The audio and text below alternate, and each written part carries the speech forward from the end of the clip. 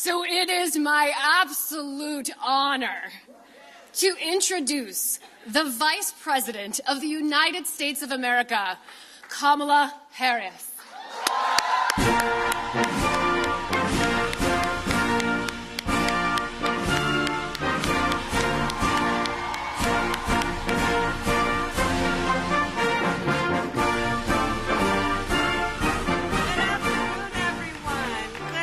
Afternoon. Good afternoon. Good afternoon.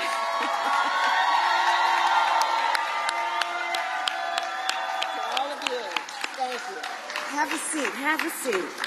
Let me first of all thank Jennifer. She and I and the Congresswoman Cherfilus-McCormick, Ben Crump, Tracy Davis, Representative Angie Nixon, Derrick Johnson from the NAACP, um, we had some time before I came out to talk with each other, and I just want to say that there is extraordinary leadership, Jennifer and everyone else, in this state, and you are not alone.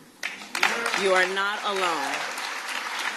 You are not alone. I'll tell you, yesterday I was traveling to, to, to meet with some folks when I heard the news about what happened here and our team and, and the president, you know, is completely on board with this. We said we got to remind the folks of Florida that you're not fighting out here by yourselves. We believe in you. We believe in the people of Florida.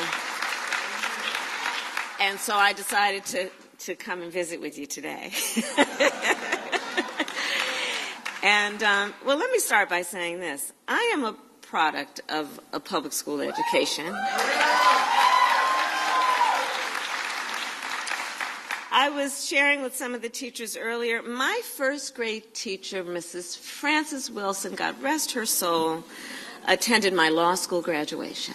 I am a product of teachers and an educational system that believed in providing the children with the full expanse of information that allowed them to then and encourage them to then reach their own conclusions and exercise critical thought in a way that was directly intended to nurture their leadership.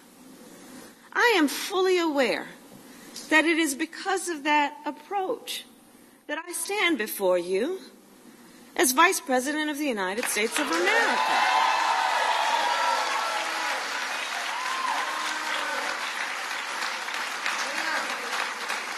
So when I think about where we are today and who we are as a community of people, within the beauty of the diversity that I see in front of me, I know that there are many things we share in common. And first and foremost, we share in common a deep love of our country and the responsibility we each have then to fight for its ideals. That is so critically important on the subject then that gathers us here today. Because you see, when we think about it, part of true patriotism means fighting for a nation that will be better for each generation to come. Believing that our nation is worth the investment in fighting for the children of America, that we will provide them with the information they need to go into the world and lead. I will tell you, as Vice President of the United States, I have now met with over 100 world leaders presidents, prime ministers, chancellors, and kings. One of the things about who we are as Americans is we can walk in those rooms with the authority earned for the most part, except recently sometimes, earned authority to walk in those rooms talking about what it means to uphold democracies, the importance of rule of law, human rights. And when we walk in those rooms, we do it proud of the fact that we have been held up and held out as a role model. Well, the thing about being a role model is this. When you're a role model, people watch what you do to see if it matches what you say. So understand the impact that this is happening, having not only for the children of Florida and our nation, but potentially people around the world.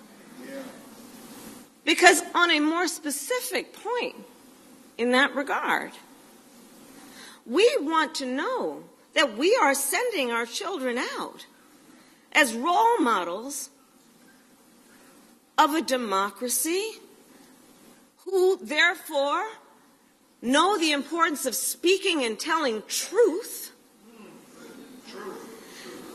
the importance of understanding when you are a leader, you must know history.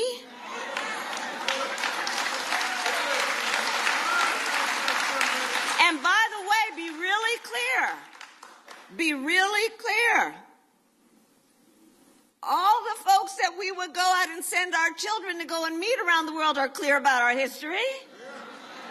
And we're going to send our own children out to not know what it is?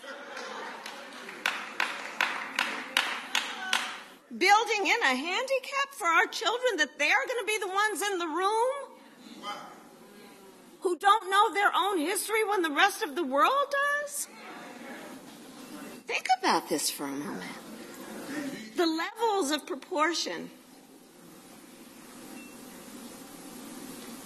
So when I think about where we are, I do believe that our strength as a nation has always been because we are continuously and always invested in fighting to reach our ideals.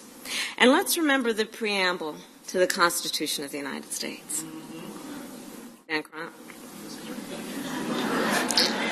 We the people, in order to form a more perfect union. It's part of the spirit behind our founding as a democracy. Implicit in those words is we understood we must strive to form a more perfect union. Implicit in those words was an understanding we are imperfect. And we must be honest about that to understand then our history, where we've been, and then have a North Star in terms of where we must go.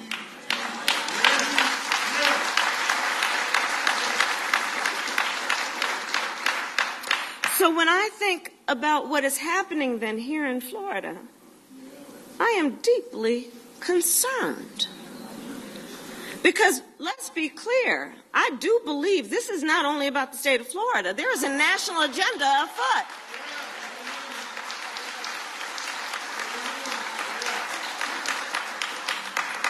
And what is happening here in Florida? Extremists, so called leaders, for months have dared to ban books. Book bans in this year of our Lord 2023. Extremists here in Florida pass a law, don't say gay, trying to instill fear in our teachers that they should not live their full life and love who they love.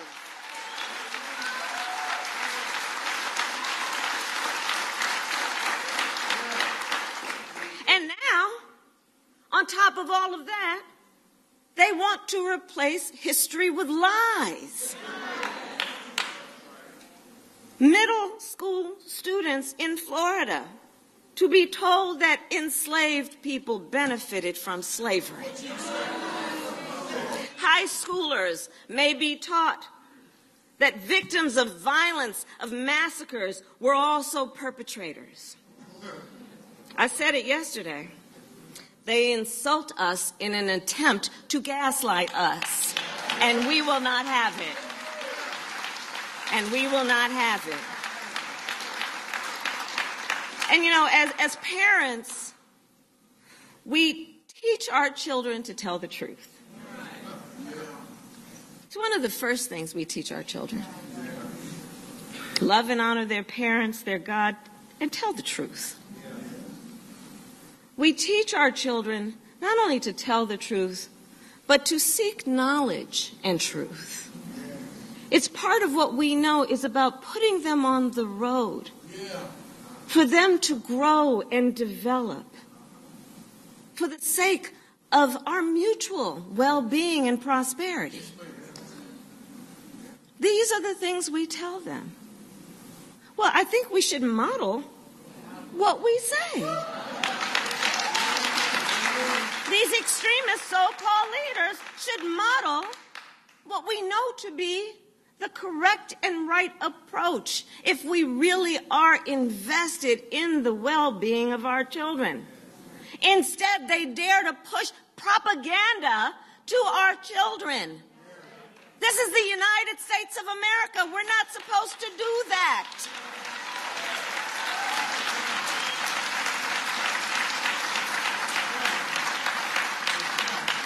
And here's the other piece about this. Now, when adults know what slavery really involved, come on. Adults know what slavery really involved. It involved rape. It involved torture. It involved taking a baby from their mother. It involved some of the worst examples of, of, of depriving people of humanity in our world. It involves subjecting to people the, the requirement that they would think of themselves and be thought of as less than human. So, in the context of that, how is it that anyone could suggest that in the midst of these atrocities, that there was any benefit to being subjected to this level of dehumanization?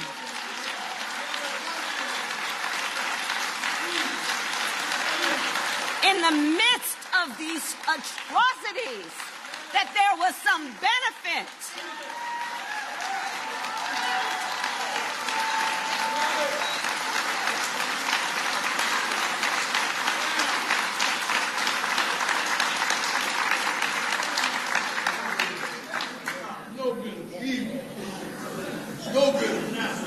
So it is not only misleading, it is false, and it is pushing propaganda. People who walk around and want to be praised as leaders, who want to be talked about as American leaders, pushing propaganda on our children. Pushing propaganda on our children. And when we think about it, you know, when we send our children to school as parents, we want to know that they are, be taught, they are being taught the truth. It is a reasonable expectation. It is a reasonable expectation that our children will not be misled. And that's what's so outrageous about what is happening right now. an abject and purposeful and intentional policy to mislead our children. And so let us be clear teachers want to teach the truth. Teachers want to teach facts. And teachers dedicate themselves to some of the most noble work any human being could take on to teach other people's children for the sake of the future of our nation. And so they should not then be told by politicians that they should be teaching revisionist history in order to keep their jobs. What is going on? Are teachers who fear that if they teach the truth, they may lose their job. As it is, we don't pay them enough.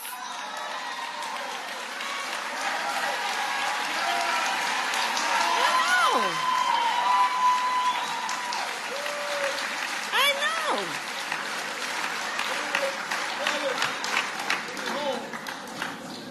And these are the people, these extremist so called leaders, who all the while also the ones suggesting that teachers strap on a gun in the classroom instead of what real leaders should be doing and be engaged in reasonable gun safety laws.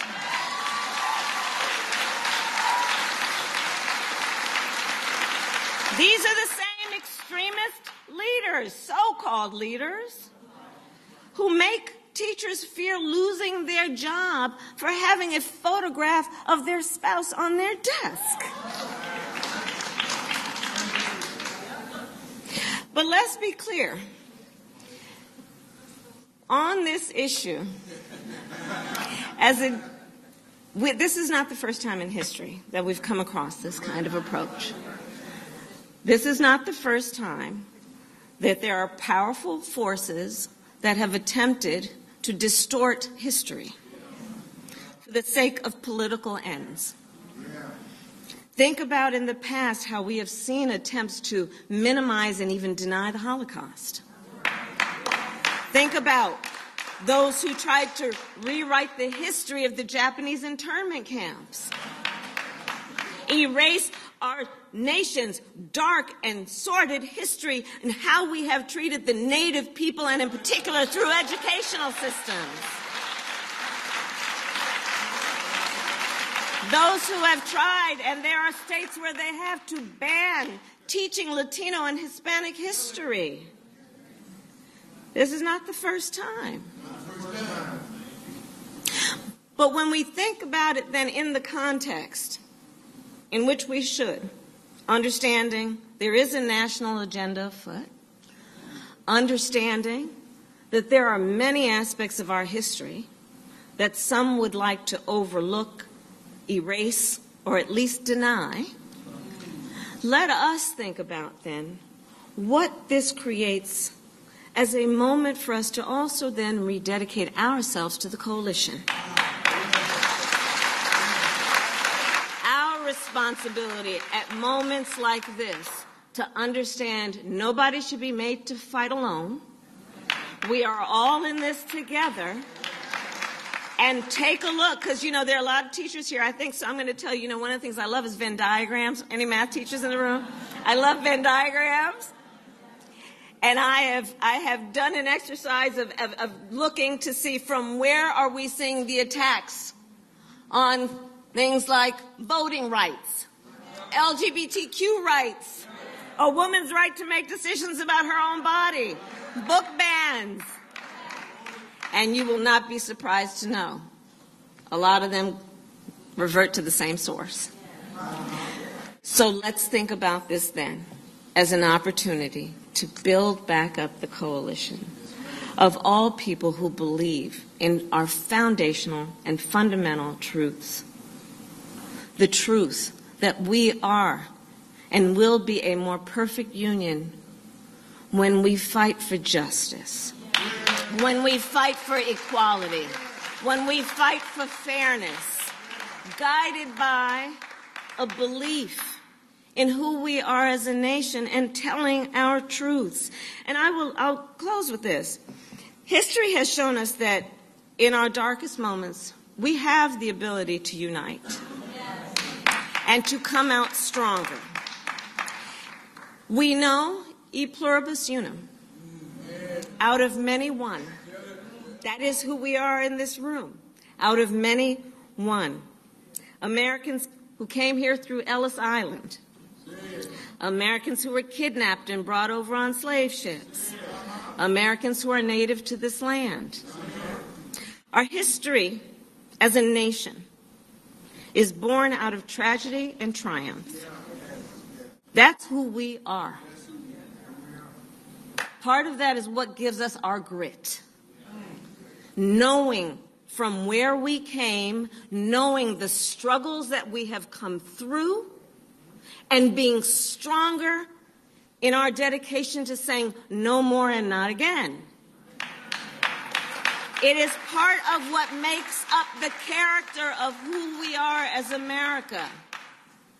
So let's reject the notion that we would deny all of this in terms of our history. Let us not be seduced into believing that somehow we will be better if we forget. We will be better if we remember. We will be stronger if we remember. We fought a war to end the sin of slavery. A civil war.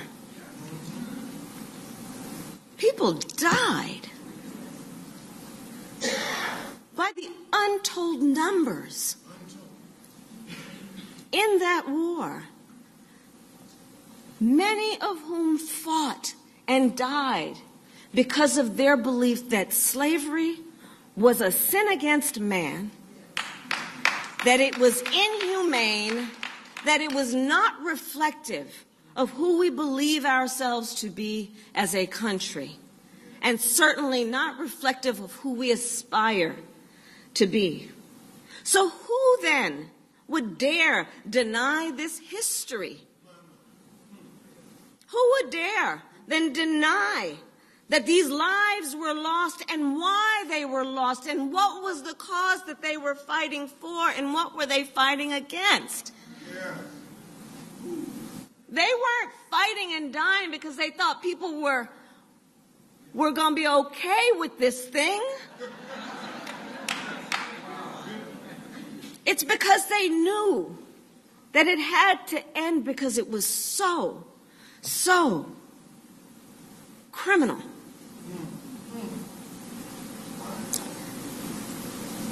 So we know the history.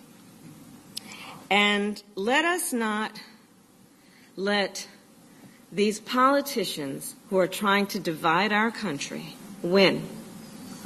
Because you see, what they are doing, what they are doing is they are creating these unnecessary debates. This is unnecessary to debate whether enslaved people benefited from slavery. Are you kidding me? Are we supposed to debate that? Let us not be distracted by what they're trying to do, which is to create unnecessary debates to divide our country. Let's not fall in that trap. We will stand united as a country. We know our collective history. It is our shared history. We are all in this together. We know that we rise or fall together as a nation. And we will not allow them to suggest anything other than what we know. The vast majority of us have so much more in common than what separates us. And so let us stand always for what we know is right. Let us fight for what is right. And when we fight, we win. God bless you and God bless the United States of America. Thank you.